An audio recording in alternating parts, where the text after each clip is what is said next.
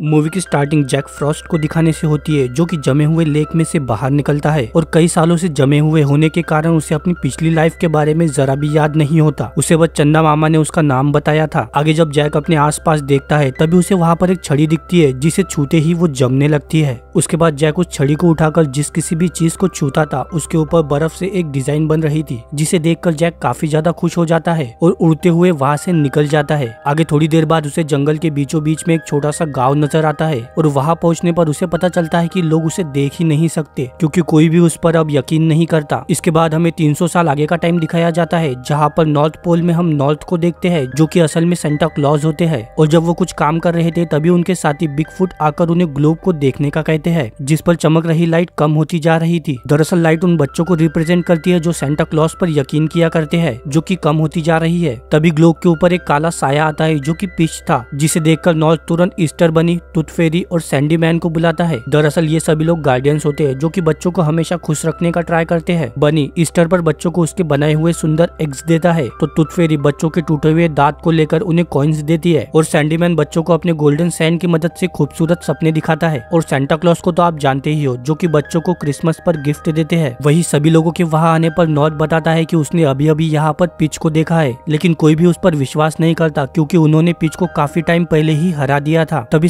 Sandy सभी को चंदा मामा की तरफ़ देखने का कहता है और जब सब लोग उस तरफ़ देखते हैं, तब चंदा मामा उन्हें इशारों में बताता है कि पिच सच में वापस आ गया है और उसके भयानक नाइटमेयर से बच्चों को बचाने के लिए वो जैक फ्रॉस्ट को बच्चों का नया गार्डियन बनाते हैं, जिसे सुनकर सब लोग काफ़ी खुश होते हैं, लेकिन ईस्टर बनी नहीं क्योंकि वो जैक को इरिस्पॉन्सिबल समझता है, लेकिन वो चंदा मामा के फैसले के खिलाफ नहीं जा सकता। दूसरी तरफ़ हम जैक को देखते हैं, वो बच्चों को तंग करते हुए काफ़ी इंजॉय कर रहा था। तभी उसे जिमी नाम का एक बच्चा दिखता है, जिसकी मॉम उसे कहती है कि जैक फ्रॉस्ट जैसी कोई चीज़ नहीं होती, जिसे सुनकर जैक को काफ़ी बुरा लगता है, जिसके बाद वो जिमी को अपने जादू की मदद से स्लाइड करवाता है, जिसे देखकर बाकी के बच्चे भी काफ़ी इंजॉय करते हैं। वही स्लाइड के आखिर में जिमी का एक दांत गिर जाता है, जिसे देखकर वो काफ़ी खुश होता है, क्योंकि अब तुत फेरी आकर उसका दांत लेकर जाएँगी। और यही बात जिमी अपनी छोटी सिस्टर को बता रहा था कि आज रात को तुत फेरी आकर उसका दांत लेकर जाएँगी। तो खिड़की से ये सारी बातें जैक सुन रहा था, और उसे काफ़ी दुख होता है कि आखिर बच्चे उस पर विश्वास क्यों नहीं करते। तभी वो सैंडीमैन की गोल्डन सैंड को देखता है, जो कि बच्चों को काफ़ी अच्छे अच्छे सपने दिखा रहा था। वही एक बच्चे के सपने के दौरान वहाँ पर पीछा आ जाता है और वो सैंडीमैन की गोल्डन सैंड को छूकर नाइटमेयर में बदल देता है, जिससे बेफिक्र जैक को किसी का साया दिखता है और उसका पीछा करने पर वो बनी निकलता है, जिसके साथ नॉर्थ के बिग फ़ूड भी थे, जो जैक को एक बोरी में डालकर नॉर्थ के पैलेस में लेकर आते हैं, जहाँ पर नॉर्थ जैक को बताता है की चंदा मामा ने उसे बच्चों का नया गार्डियन बनाया है। इस पर जैक को काफ़ी गुस्सा आता है की चंदा मामा ने उसे ये बात क्यूँ नहीं बताई? तभी जैक और बनी के बीच कहा सुनी हो जाती है की जैक कभी भी गार्डियन नहीं बन सकता क्योंकि बच्चे उस पर विश्वास ही नहीं करते। अब इस लड़ाई को रोकने के लिए नॉर्थ जैक को अपने ऑफ़िस में लेकर आता है, जहाँ पर वो जैक को कहता है की चंदा मामा जिसे भी बच्चों का गार्डियन चुनते हैं, उसमें ज़रूर कोई ना कोई खास बात होती है और उसे भी अपनी पावर को पहचानना होगा, जिसे सेंटर ऑफ़ पावर कहते हैं। तभी बनी आकर दोनों को बताता है की टूथ पैलेस पर कोई गड़बड़ हुई है तो फिर सभी लोग नॉर्थ के साथ वहाँ पर जाने के लिए निकलते हैं और वहाँ पहुंचकर देखते हैं कि बेबी टूथ को पिच के नाइटमेयर्स अपने साथ लेकर जा रहे हैं, लेकिन जैक किसी तरह से उनमें से एक बेबी टूथ को बचा लेता है। वही पैलेस में आने पर वे लोग टूथ फेरी को रोते हुए देखते हैं, तभी पिच वहाँ पर आता है और कहता है कि, कई सालों तक गुमनामे की ज़िंदगी जीना कैसा लगता है, मुझसे पूछो, लेकिन अब मैं वैसा नहीं जीऊँगा। मेरे नाइटमेयर से मैं बच्चों को यकीन दिला दूँगा कि गार्डियन जैसी कोई चीज़ नहीं होती। साथ ही में वो जैक को ये भी बताता है कि अगर बच्चों ने गार्डियंस पर यकीन करना बंद कर दिया तो गार्डियंस मारे जाएँगे। ये सुनते ही सब लोग पिच पर हमला कर देते हैं, लेकिन पिच उनसे बचकर भागने में कामयाब हो जाता है। इसके बाद जब तुतफेरी काफ़ी रो रही थी, तब जैक आकर उसे दिलासा देता है। तभी तुतफेरी उसे बताती है कि वे लोग बच्चों के दांत इसलिए जमा करते हैं क्योंकि उसमें बच्चों की चाइल्डहुड मेमोरीज होती है और उसके पास जैक का भी एक दांत है।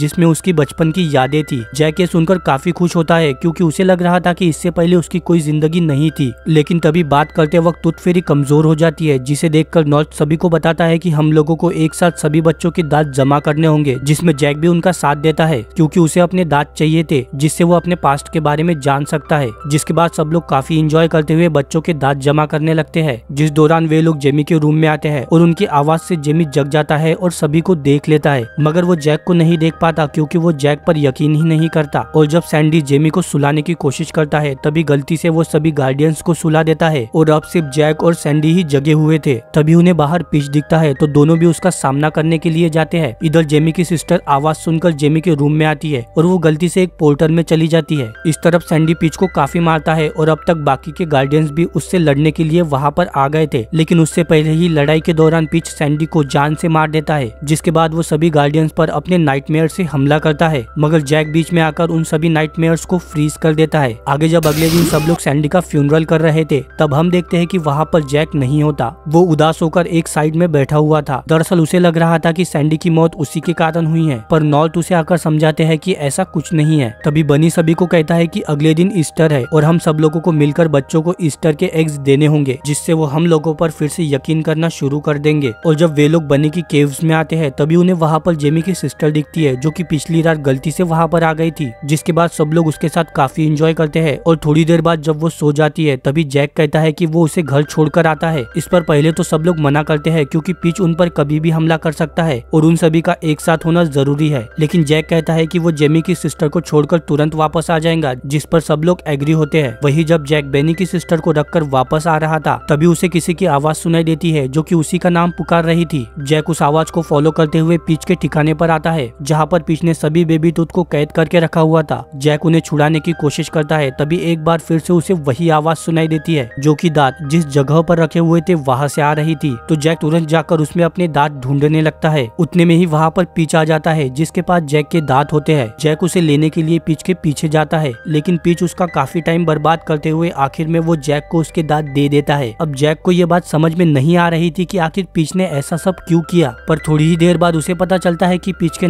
नाइटमेयर्स ने ईस्टर बनी के सारे एक्स को तोड़ दिया है, जिसके कारण अब बच्चों ने बनी पर भी यकीन करना बंद कर दिया है, जिससे हम समझ पाते हैं कि पिच इसीलिए जैक का टाइम उसके केव में बर्बाद कर रहा था। वही जब सब लोग जैक के हाथ में उसके दांत देखते हैं, जिससे वो समझ जाते हैं कि वो पिच के साथ था, इसीलिए बनी उसे काफ़ी सुनाता है, जिसे सुनने के बाद जैक वहाँ से चला जाता है। तो दूसरी तरफ़ जेमी अभी भी बनी पर यकीन करके बाकी बच्चों को एग्स ढूँढने के लिए कह रहा था, लेकिन बच्चे पिछली रात के नाइटमेयर के कारण उसे मना करके वहाँ से चले जाते हैं। इस तरफ़ हम जैक को एंटार्क्टिका में देखते हैं, जहाँ पर थोड़ी देर बाद पीछ आकर जैक को समझाने की कोशिश करता है कि वो दोनों एक ही जैसे हैं। और अगर एक टीम में आ जाए तो वे लोग दुनिया पर राज कर सकते हैं। लेकिन जैक उसे साफ़ साफ़ मना कर देता है, क्योंकि वो बच्चों को डराने में यकीन नहीं करता, जिसके कारण दोनों के बीच काफ़ी लंबी फाइट होती है, जिस दौरान पीच बेबी तूत को पकड़कर मारने की धमकी देता है कि अगर जैक ने उसे उसकी छड़ी नहीं दी तो वो बेबी तूत को मार देगा। दरअसल पीच को लगता है कि जैक की सारी पावर्स उसकी छड़ी में है। वही बेबी तूत को बचाने के लिए जैक अपनी छड़ी पीच को दे देता है। जिसे लेकर पीच उस छड़ी को तोड़ देता है और फिर वो बेबी तूत और जैक को खाई में फेंक देता है। जहाँ पर हम जैक को काफ़ी उदास देखते हैं, तभी बेबी तूत उसे उसके दांत को देखने के लिए कहती है, जिसे छूने पर जैक को पता चलता है कि उसकी भी एक फैमिली थी और एक दिन जब वो अपनी छोटी सिस्टर के साथ स्केटिंग कर रहा था, तभी जमी हुई आइस टूटने लगती है, जिसे देखकर जैक उसे ट्रिक करते हुए अपनी सिस्टर को बचा लेता है। लेकिन इस सब में बर्फ़ टूट जाती है और जैक उसके अंदर गिर जाता है, जिसके कई सालों के बाद चंदा मामा ने जैक को पावर देकर वापस ज़िंदा किया। क्योंकि जैक ने उसके सिस्टर की जान बचाई थी। अब ये सब देखने के बाद जैक समझ जाता है कि चंदा मामा ने उसे बच्चों की रक्षा करने के लिए उनका गार्डियन बनाया है, जिसके बाद जैक वहाँ से निकलने के लिए सबसे पहले तो आइस की मदद से अपनी छड़ी को ठीक करता है और फिर वो बेबी दूध को छुड़ाने के लिए पिच के ठिकाने पर आता है। लेकिन उसे पता चलता है कि सारे बेबी दूध उड़ नहीं सकते, क्योंकि धीरे धीरे सभी बच्चों ने गार्डियंस पर विश्वास करना बंद कर दिया है। लेकिन सिर्फ़ अभी एक ही बच्चा बाकी था, जो कि अभी भी गार्डियंस पर विश्वास करता है, और वो और कोई नहीं, बल्कि जिमी था। जिसके बाद जैक तुरंत जिमी के घर पर आता है। वो देखता है कि जिमी बनी के सॉफ्ट टॉय को देखकर कोई साइन देने का कहता है कि वो सच में है या फिर नहीं। पर जब उसे कोई साइन नहीं मिलता तो वो उदास हो जाता है, जिसे देखकर जैक आइस से बनी बनाकर जेमी को एंटरटेन करता है। लेकिन आखिर में जेमी समझ जाता है कि ये बनी नहीं, बल्कि जैक फ्रॉस्ट कर रहा है और जैक का नाम लेते ही वो उसे देख पा रहा था, क्योंकि अब उसे यकीन हो गया था कि जैक रियली में है। और जब वो दोनों बातें कर रहे थे कि तभी बाहर नॉर्थ और सभी लोग आ जाते हैं, जिनकी हालत काफ़ी बुरी थी। हम देखते हैं कि बेनी साइज़ में छोटा हो गया है, क्योंकि बच्चों के यकीन ना करने की वजह से उसकी पावर कम होती जा रही है, और इसीलिए वो छोटा हो गया है। सब लोग जेमी को देखकर काफ़ी खुश होते हैं, तभी वहाँ पर पीच आ जाता है। तो जैक उससे लड़ने के लिए जाता है, लेकिन अब पीच काफ़ी स्ट्रॉन्ग हो गया था, जिसके चलते जैक उसके सामने टिक नहीं पाता, और पीच जेमी को डराने के लिए आता है, जिसे देखकर जेमी जैक को कहता है कि उसे काफ़ी डर लग रहा है। तभी जैक को अपनी सिस्टर की याद आती है कि कैसे उसने मस्ती करके उसकी जान बचाई थी, जिससे वो समझ जाता है कि उसकी सेंटर पावर मस्ती करना है। दरअसल वो मस्ती करके बच्चों को खुश करवा सके, इसीलिए उसे गार्डियन बनाया गया था, जिसके बाद जैक पिच पर बर्फ़ के गोले मारता है और फिर जेमी के साथ मिलकर उसके सभी दोस्तों को जगाकर उनके साथ काफ़ी मस्ती करता है, जिससे अब सब लोग जैक को देखने लगे थे। तभी पिच अपनी डार्कनेस लेकर उन पर हमला करने के लिए आता है, जिसे देखकर बच्चे उसका सामना करने के लिए उसके सामने आते हैं और बच्चों के पीछ के डार्कनेस को हाथ लगाते ही सैंडी फिर से ज़िंदा हो जाता है और बाकी के गार्डियंस की पावर भी वापस आ जाती है, जिसके बाद गार्डियंस अपने साथियों को पिच के साथ लड़ने के लिए बुलाते हैं, जैसे की नॉर्थ बिग फुट को बुलाता है और बनी पत्थर के बने हुए सोल्जर्स को बुलाता है, जिसके बाद सारे बच्चे पिच के डार्कनेस से तो गार्डियंस पिच के साथ लड़ने लगते हैं, जिस दौरान सैंडी पिच को मारकर सुला देता है और वो अपनी पावर से सभी नाइटमेयर को अच्छे सपनों में बदल देता है, जिससे अब सभी बच्चे उन पर दोबारा यकीन करना स्टार्ट करते हैं। वही पिच को होश आने पर उसे पता चलता है कि बच्चों के यकीन ना करने की वजह से वो फिर से इनविजिबल हो गया है और जब वो डर के मारे वहाँ से भाग रहा था, तभी गार्डियंस उसे रोक लेते हैं, जिन्हें देखकर पिच कहता है कि वो डर को